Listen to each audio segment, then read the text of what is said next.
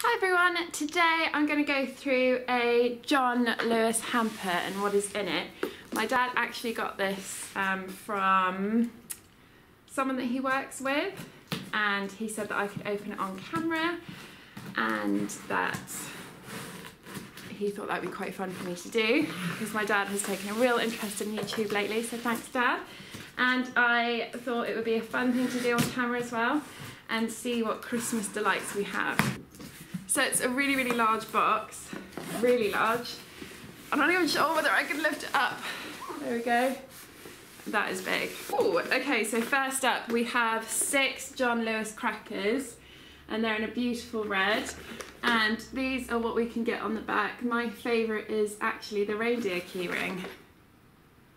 That's pretty cool. I wonder if it also open like opens up cans. So that is what it looks like in a wicker brown basket. Thank you. So this is Alex's favourite thing from the chocolate. basket so far. It's a white chocolate bauble with a decorative tree on.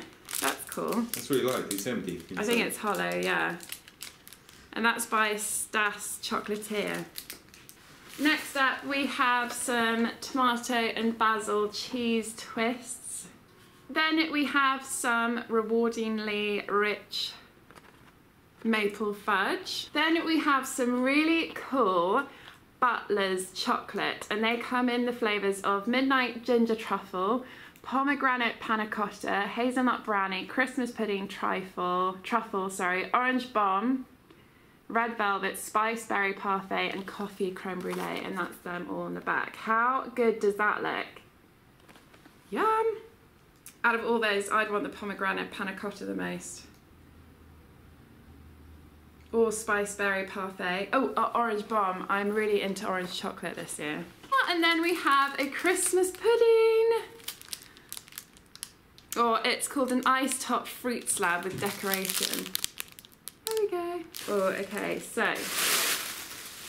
we've got loads of these polystyrene things and these are not good dogs. I thought I'd use the tree as the backdrop.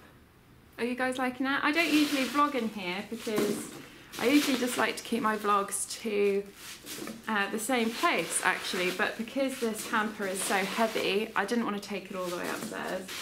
God, there's so many polystyrene bits. Oh, cool. Okay, we've got a really cool fancy Christmas pud. Is this just normal with cider? Doesn't go off till 2019 so even if we don't have it this year because Alex and I are doing the desserts for Christmas for our family this year. But um, that's cool. I feel like everyone has to have a Christmas pudding but no one actually likes them. This is such a cool hamper. Right next up we have farmhouse biscuits chocolate chip and cranberry biscuits. How good do they look? I wonder if they're in a packet. Okay next up we have crunch craving nuts is that focusing? Fruit and nut mix. Ooh. Next we have some slow roasted coffee by Paddy and Scott. So we can use this in a cafetiere. Ooh, and then we have some Yorkshire crisps. Sweet chili and lime. My dad will love those. Christmas pickle! How cute is that? Christmas pickle. What flavour is this then? Sweet apple chutney with cider and cranberries. Hi! Hello! Heidi's just come in. Come and say hi, come here. Come here.